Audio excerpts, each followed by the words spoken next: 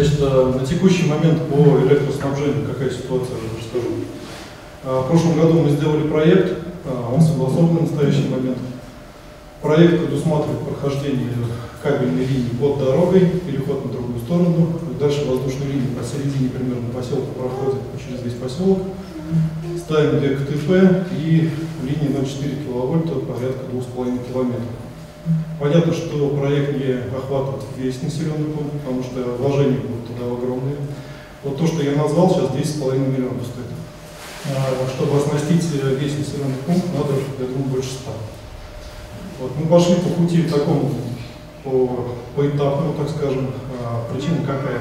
То есть, если оснащать все сразу, это только через инвестиционную программу, которую можно будет включить только 2025 и далее. То есть это очень долго. Поэтому поэтапное такое внедрение, оно а, позволит, так скажем, быстрее оснастить снабжение. Вот. У нас до 25 февраля проводились торги, торги состоялись.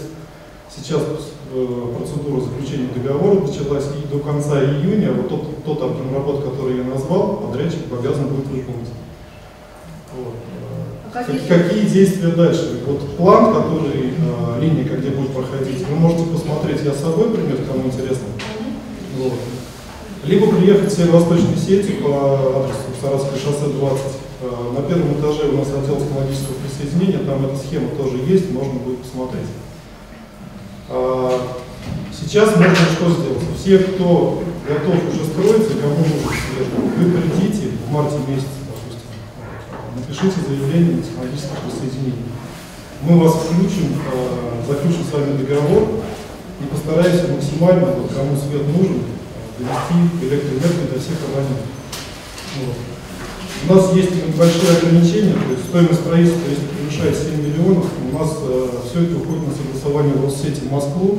Этом линия 10 киловатт проходит через э, весь поселок, поэтому уже отпайками мы это все дело быстро сделаем. Э, то есть по вашему обращению, допустим, э, в марте месяце срок исполнения наших обязательств будет где-то примерно полгода. Соответственно, сами понимаете, если обратиться человеку, у которого участок будет самый дальний, то линия пройдет через все участки, и, необходимости обращаться к каждому уже